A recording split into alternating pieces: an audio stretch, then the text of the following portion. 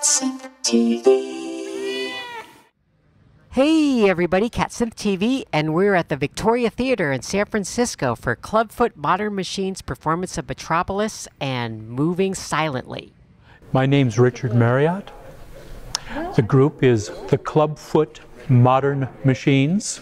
Most of the orchestral musicians are part of the Clubfoot Orchestra.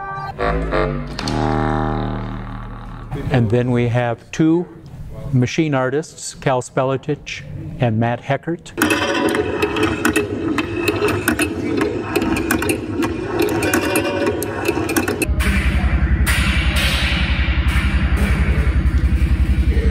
My name is Matt Heckert, and I'm a sound artist in the Bay Area.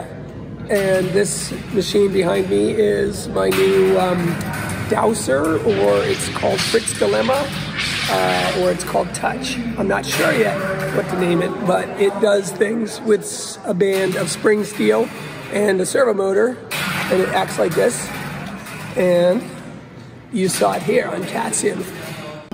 And we're going to be doing a, a, score for the film Metropolis tonight, which I think is especially apt to include machinery.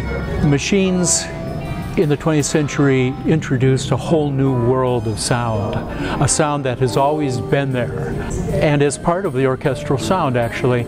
But it took developments in uh, energy and developments in engineering before we could really appreciate the, the noise for what it is, pitched and unpitched and everything in between. Three, four.